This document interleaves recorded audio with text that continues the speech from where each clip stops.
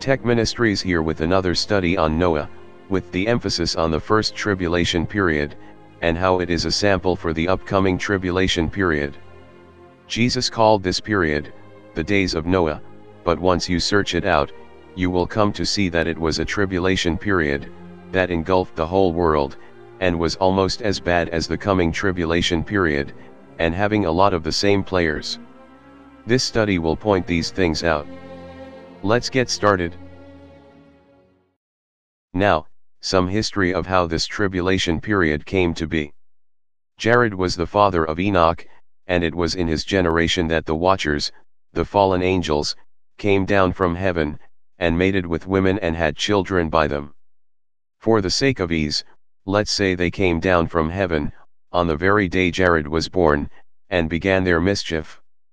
Jared lived until 962 years, and died 234 years before the flood came. Therefore, these angels and their children wreaked havoc on the earth for roughly 1,200 years. So the start of what would become the tribulation to them, was during the days of Jared. Now, their tribulation started easy enough. The angels had relations with the women of their choice, and they gave hybrid children to them, a thing that was not created or sanctioned by God. And meanwhile, as the children began to grow, the fallen angels increased the knowledge of man with the secrets of heaven. And they taught them how to make weapons of warfare, and the art of using them. Swords, shields, armor, and helmets, all things formerly unknown to men, but now revealed, to cause to them their own destruction. They also taught them astrology, how to allow the stars to have governance over them.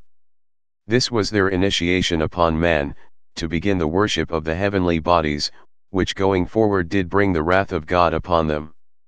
Nothing these angels did was for the good of man, and all of the knowledge they received from them was for their own destruction. And just as it was in their day, where knowledge was increased, so it is in our day that knowledge is increasing. In the right hands, for the good of the people, but in the wrong hands, for the destruction of the people. The increased knowledge, during the coming tribulation, will aid the Antichrist with technology, that will enslave the people to his will. So, increased knowledge is a factor in both tribulation periods, and ultimately will lead to the destruction, of the people. Now, I want to bring to your attention, that in both tribulation periods, it was mainly dominated with evil, by fallen angels. As I have stated, during the days of Noah, they showed up in the generation of Jared. In our day, they will show up in the generation that sees the rebirth of the nation of Israel. Scripture says, And there was war in heaven. Michael and his angels fought against the dragon, and the dragon fought and his angels, and prevailed not, neither was their place found any more in heaven.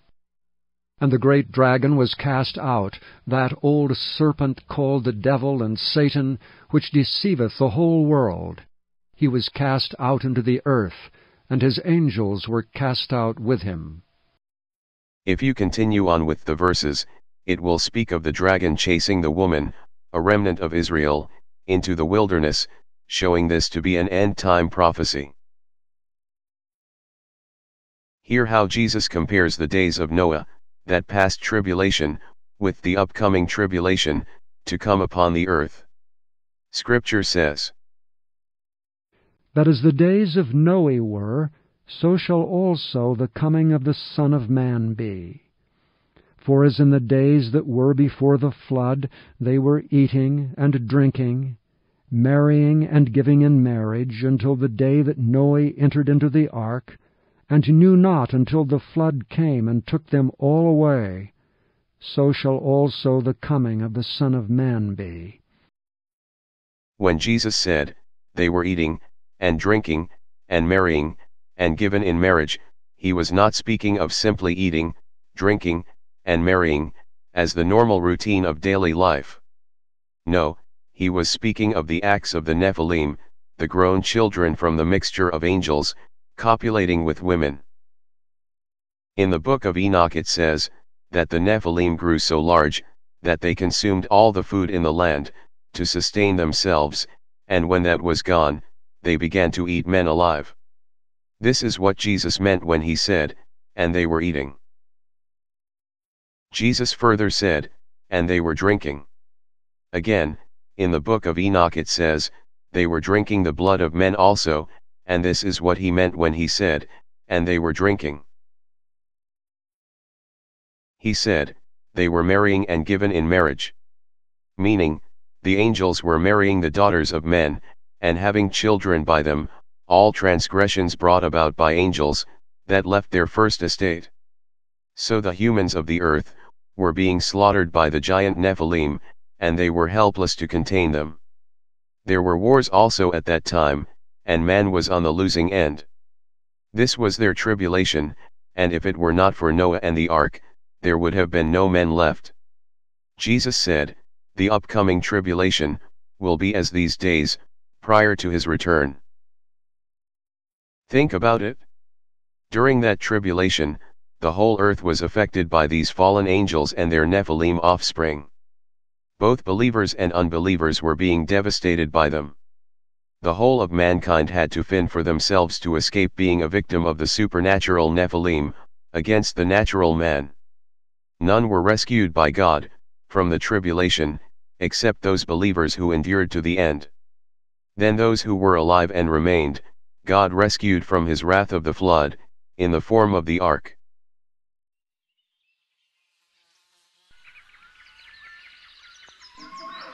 Now, if this is the pattern we should expect for the upcoming tribulation period, then this puts the pre-tribulation rapture in question, for only those believers who were alive and remained at the end of the tribulation, were rescued at the end from his wrath of the flood by the ark.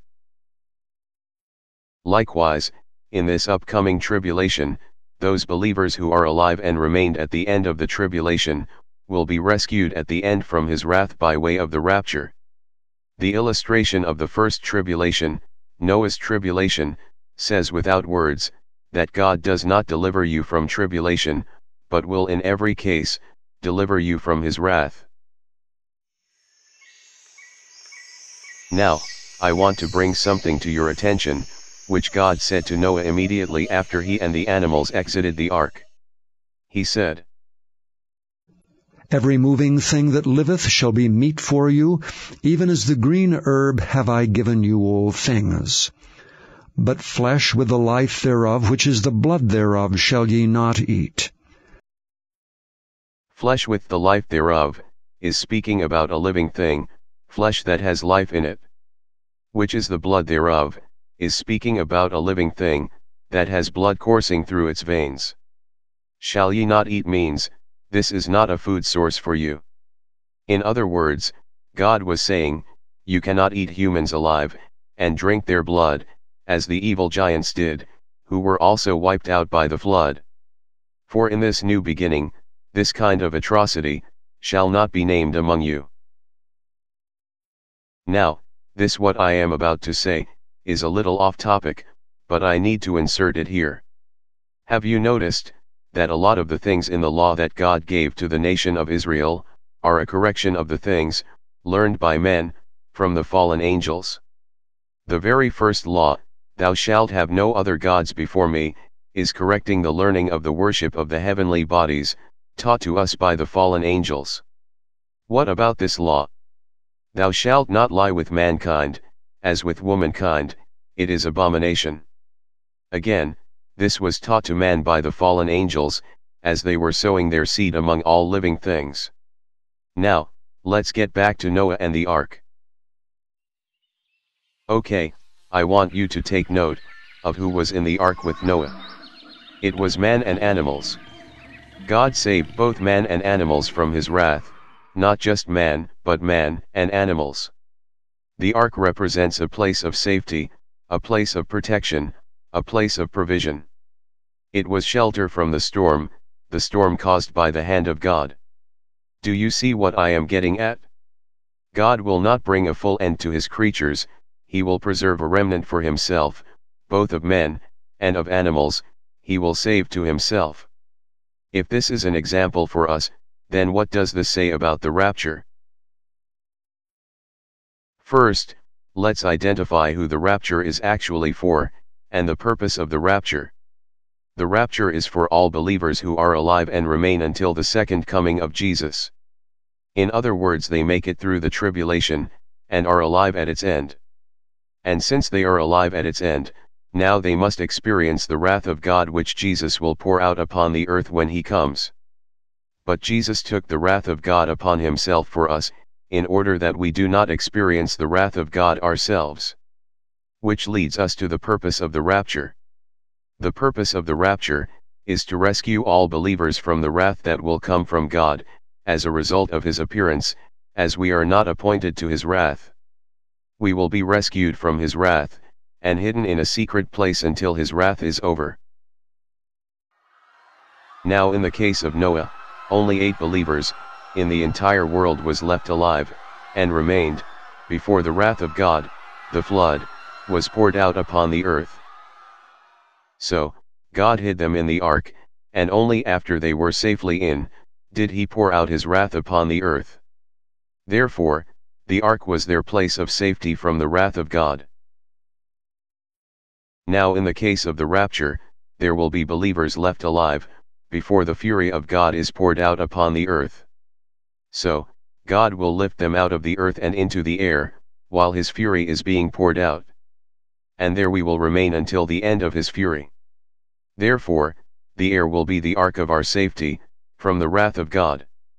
Scripture says, For the Lord himself shall descend from heaven, with a shout, with the voice of the archangel, and with the trump of God. And the dead in Christ shall rise first, then we which are alive and remain shall be caught up together with them in the clouds to meet the Lord in the air, and so shall we ever be with the Lord. You say, well, why would we be taken just to the air, and not into heaven? It is because Jesus is leaving heaven to reign on the earth for 1,000 years, and we are to reign with him during that time. Therefore, he will lift us out of the earth for a moment, into the clouds of the air, and pour out his wrath upon the earth, and then afterwards, he will retrieve us from the air, and we will be forever with the Lord. Do you remember, who God saved from his wrath, in the day of Noah?